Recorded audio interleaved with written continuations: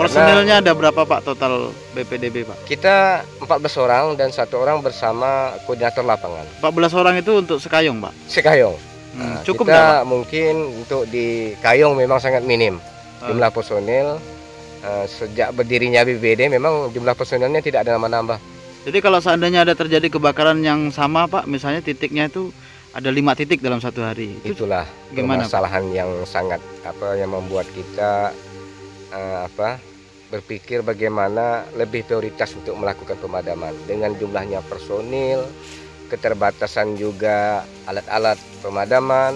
Hmm, Yang kedua juga apabila masuk ke lahan yang sangat luas hmm. dengan menarik selang-selang yang panjang ini butuh sampai 10 orang sampai 12 orang.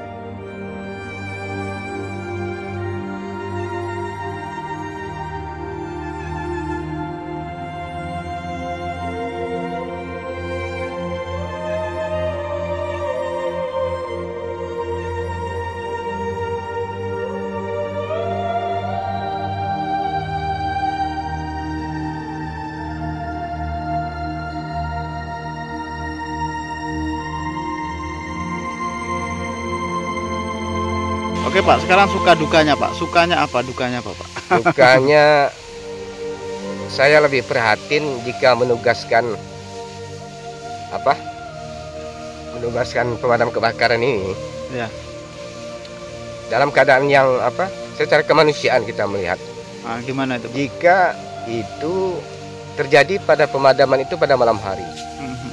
Nah, karena banyak mereka-mereka ini berangkat pagi Mhm. ya karena harus selesai semua dalam proses pemadaman. Mhm. Pulang malam tiba-tiba ada informasi lagi gitu kan. Ya. Ada informasi dari warga mohon bantuan karena kerja kita benar-benar kerja untuk kemanusiaan.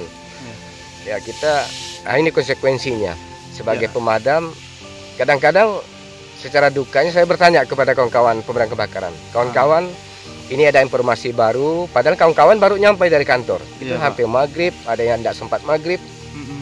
Apakah kita berlanjut ini kebetulan.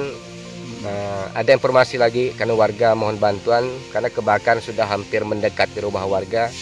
Ya, karena itu sudah menjadi panggilan hati kawan-kawan juga ya dan juga ini melihat tanggung jawab moral juga melihat api itu berada di pemukiman warga. Kawan-kawan biasa mutar pulang, Biasa mutar. turun lagi ya Pak turun ya? lagi. Ah, Karena panggilan kemanusiaan tadi Pak ya? kondisian tadi. Ah, makanya Berarti kerja mereka berapa jam Pak dalam satu hari kalau musim kebakaran seperti ini? inilah luar biasa ya, dah melebihi jam kerja ya, sudah Ya. melebihi jam kerja.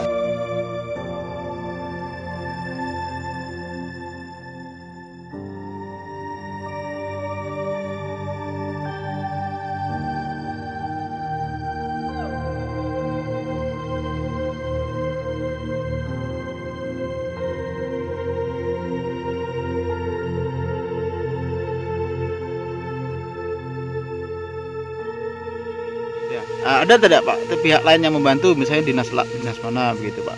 Dari- Ya, kita selalu menginformasikan jika terjadi beberapa titik dalam hari yang sama.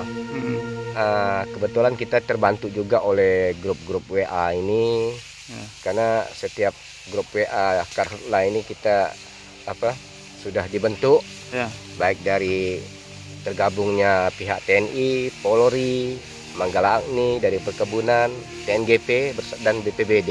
Ya. Tergabung Jadi di situ Pak ya? Tergabung dalam grup ini nah, sehingga informasi-informasi cepat kita sampaikan. Berarti mereka juga punya alat Pak dari Iya. TNI, Polri, perkebunan ada alat masing-masing. Ada, mereka ada. Jadi kalau seandainya terjadi kebakaran lebih dari apa? Lebih dari du- satu titik, Hmm. apakah dua titik, tiga titik seperti kemarin kejadian yang luar biasa ya Hmm. pada malam Jumat itu tanggal 15-an, 15 Iya. malam itu. Hmm. Itu udah hampir mau lebaran, Iya Pak. itu terjadi lima titik kebakaran Dalam satu hari dalam Pak. ya? satu hari. Akhirnya turun semua, Pak, Akhirnya kita bagi. Hmm. Jadi memberikan informasi melalui WA grup Hmm. Posko Karhutla Kayong Utara. Hmm. Ya posisi BPBD di sini kita bagi. Kita minta izin kepada pimpin pimpinan Hmm. eh, apa pemadam lain. Ya. Nah, mungkin di Manggalang ini di sini TNGP di sini, TNI Polri, BPBD juga di sini. Nah, Ya. Jadi kita bagi, alhamdulillah pada malam itu semuanya terpadamkan semua. Iya.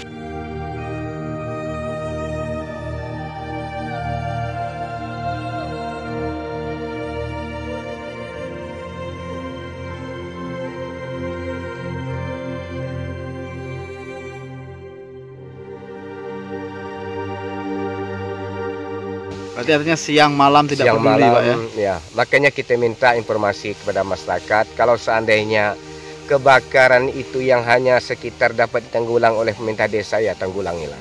Sambil menunggu bantuan dari tim-tim pemadam darat dari kabupaten. Ya. Kenapa? Sekarang ini pun juga harapan kita desa boleh menganggarkan dalam Ya. rangka untuk memperbanyak peralatan, membentuk apa pemadam-pemadam tingkat desa melalui anggaran APBDes. Ya. Nah, ini tujuan tadi agar kita ini ada ada upaya melakukan pencegahan dini di tingkat Ya. desa. Begitu ada terjadi kebakaran, desa bergeraklah lebih lebih dulu. Ya, artinya ada sinergi Pak ya. Ada sinergi. antara masyarakat, desa, pemerintah kabupaten Iya. dan lain sebagainya Pak. ya. Ah, nah, Jadi tugasnya kita- karena tugas bersama juga ya, Iya Pak. ya? betul, karena ini kan tugas bersama juga itu kan. Dan lahan ini juga lahan perkebun rata-rata ini kan milik masyarakat di desa itu gitu Pak.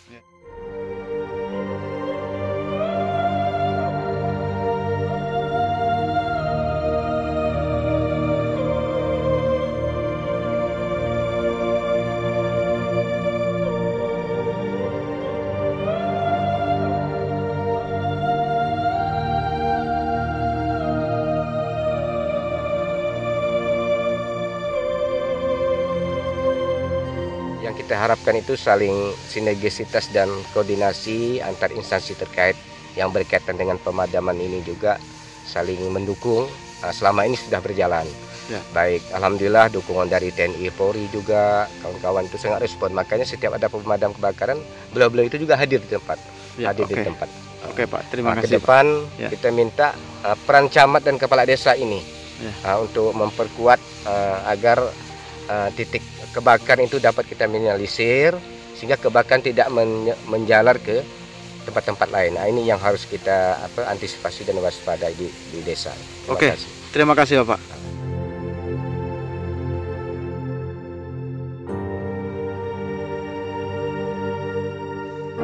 Oh, iya nih. Berarti berarti sumber kebakaran yang kemarin tuh kali. Oh. mhm. Ah, iyalah Pak. Hmm, Kami lagi memadam sini nih Pak. Mudah-mudahan dah anu kami ngejar ke sana. ah.